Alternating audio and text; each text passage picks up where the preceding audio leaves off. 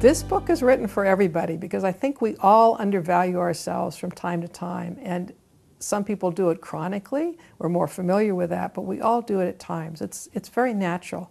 If we've been through a defeat of some kind, we've lost our job or divorce or just lost at a game, we start undervaluing ourselves in all directions. So somebody meets us and we don't know, but they like us fine. We think that they wouldn't be interested in us. We're not attractive enough. We're not smart enough. They're too busy. And often we found out later that they would have enjoyed being with us. So we just blew it. We undervalued ourselves. Human beings are always engaged in two activities. One of them is what we might call love, or I sometimes call linking, uh, which is connecting with each other. And we aren't thinking very much about how good we are right then. We're just enjoying being with someone.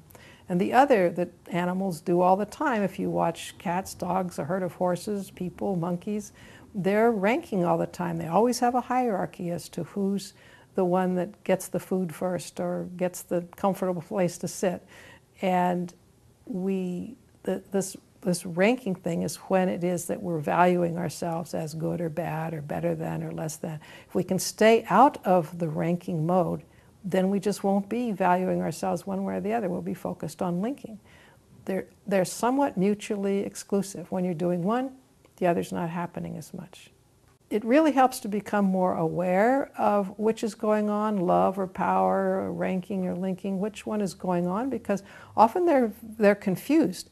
We, someone says that they love us or they like us, but uh, is that what's actually going on, or is it actually motivated by by something more to do with power, trying to influence you to do something. On the other hand, people can do things that feel like they're all about power, and in fact, they're done out of a loving motivation. Someone can criticize you, and you become very enraged and don't like them, and you're better than they are. But uh, often, not, not always, but sometimes those are well intended, um, meant to be helpful. So, recognizing ranking and linking and keeping them separate is very important, and switching from ranking to linking as much as we can. If you're not going to be able to switch easily, there's usually big causes. There's big defeats that make you on guard and conservative for the rest of your life. So, but this book tries to get at that layer by layer, kind of peeling back the unconscious in a way that I don't think um, books have really done before.